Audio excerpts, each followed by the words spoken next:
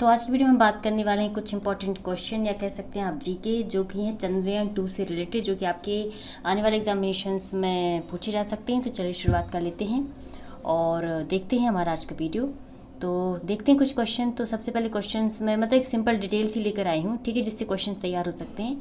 तो पहला अंतरिक्ष मिशन जो चंद्रमा के दक्षिण ध्रुवीय क्षेत्र पर सफलतापूर्वक लैंडिंग का संचालन करेगा। तो ये चंद्रयान जो टू है, भारत के द्वारा जो लॉन्च किया गया है, ठीक है। इसका क्या है कि ये सबसे पहला अंतरिक्ष मिशन है, जो कि चंद्रमा के दक्षिणी ध्रुव पर लैंडिंग करने वाला है, या फिर दक्षिण ध्रुव के क्षेत्र पर सफलतापूर्वक लैंडिंग का संचालन करेगा, ठीक है, चंद्रयान जो टू है, ठीक है। इसके अलावा पहला भारतीय विमान है जो स्वदेशी तकनीक से चंद्रमा की सतह पर जाएगा। इसका मतलब ये है, कोई तो क्वेश्चन बन सकते हैं। तो जो चंद्रयान टू जो अभी लॉन्च हुआ बट अभी एट द प्रेजेंट टाइम किसी वजह से इसके जो कहते हैं ना, इसका जो संपर्क टूट गया है, ठीक है? लेकिन क्वेश्चंस बनेंगे कि पहला भारतीय अभियान है तो उसमें क्या इसने कहीं बाहर से मदद ली थी? तो नहीं, इसने जितने भी अपने पार्ट्स बनाए हैं, ठीक है, चाहे वो रोबर हो ऑर्बिटर हो, ठीक है, ये सब इन्होंने स्वदेश में ही बनाया यानी कि भारत में ही बनाया गया है ठीक है? इसके अलावा भा, पहला भारतीय विमान जो देश में विकसित प्रौद्योगिकी के साथ साथ चाँद की सतह पर भी जानकारी जुटाएगा। तो ये पहला भारतीय विमान कहलाएगा ठीक है? जो क्या करेगा चंद चाँद की सतह पर जाकर के वहाँ की जानकारियाँ इकट्ठा करेगा मतलब वहाँ का जो भी एटमोसफियर है ठीक है? या फिर वहाँ पर क्या चीज़ें हैं उन सब का निरीक्षण करेगा।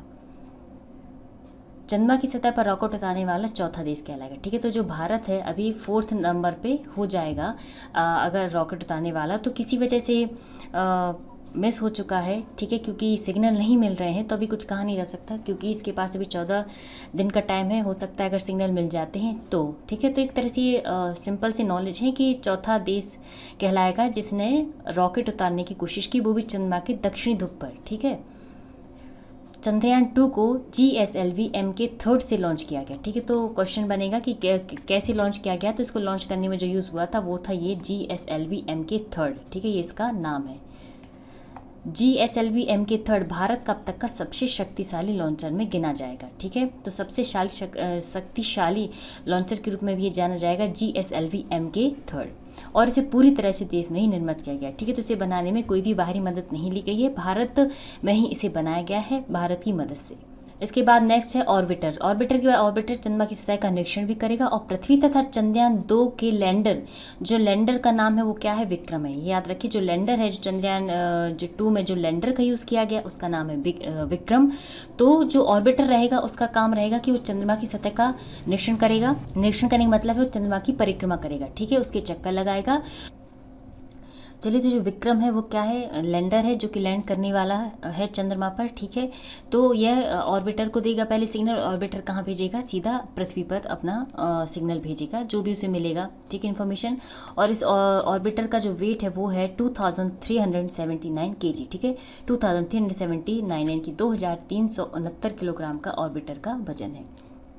अब बात करते हैं लैंड विक्रम को चाँद की सतह पर भारत की पहली सफल लैंडिंग के लिए डिज़ाइन किया गया है, ठीक है? तो जो विक्रम है और ये कैसे सॉफ्ट लैंडिंग करने वाला है, ठीक है? सॉफ्ट लैंडिंग की इसकी प्रोसेस की गई थी, ठीक है? बट किसी कारणवश से क्या हुआ कि सिग्नल टूट चुके हैं, ठीक है? तो एक क्वेश्चन हैं, इस तरह के क्वेश्चन बनेंगे कि लैंडन विक्रम जो था उसका क्या काम था तो उसकी लैंडिंग कराई जानी थी, ठीक है?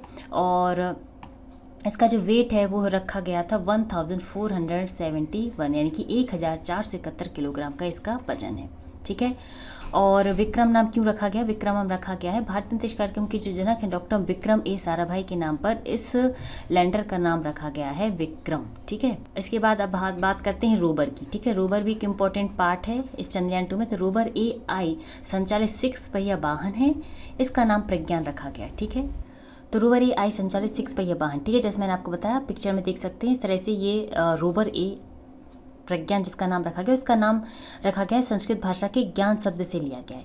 इसके वज़न की बात की जाए तो इसका जो वज़न है वो कितना है? आपका सत्ताईस और ये लगभग पाँच सौ मीटर की दूरी के लिए दूरी तय करेगा और ये जो काम करेगा वो सोलर सिस्टम पे ठीक है? जो वहाँ पर जो सूर्य की रोशनी आएगी और उसमें जो सोल सोलर पैनल लगे होंगे उसमें क्या होगी? एनर्जी ऑब्ज़र्व होगी देन उसके बाद में वो आ, काम करेगा। इसरो ने चंद्रयान टू को 22 जुलाई ठीक है? ये आपको डेट याद रखनी है कि जो 22 जुलाई को टू मतलब दो बज के तैंतालीस पर श्री हरिकोटा से लॉन्च किया गया था। तो इस तरह से क्वेश्चन पढ़ेंगे कब लॉन्च हुआ कितनी तारीख को लॉन्च हुआ कितने समय पर लॉन्च हुआ और कहाँ से लॉन्च किया गया था? तो श्री हरिकोटा से इसको लॉन्च किया गया था बाईस जुलाई को दो बज के तैंतालीस मिनट पर।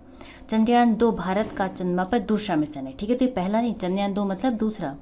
इसके अलावा अगला क्वेश्चन बनता है कि भारतीय अंतरिक्ष अनुसंधान संगठन इसरो ने भारत का पहला चंद्रयान एक अक्टूबर 2018 सॉरी 2008 में लॉन्च किया था, ठीक है? तो 2008 में फ़र्स्ट लॉन्च हुआ था। सेकंड हुआ आपका 2019 में, ठीक है? 22 जुलाई को, ठीक है? और इसकी जो लैंडिंग की जो डेट थी वो भी आ सकती है तो छः अगस्त रखी गई थी, ठीक है? छः अगस्त 2019 को इसकी लैंडिंग की क्या थी? एक डेट फिक्स थी, ठीक है? तो ये है इम्पोर्टेंट कुछ टॉपिक ठीक है? चंद्रयान टू से रिलेटेड तो thanks for watching this video please like subscribe my channel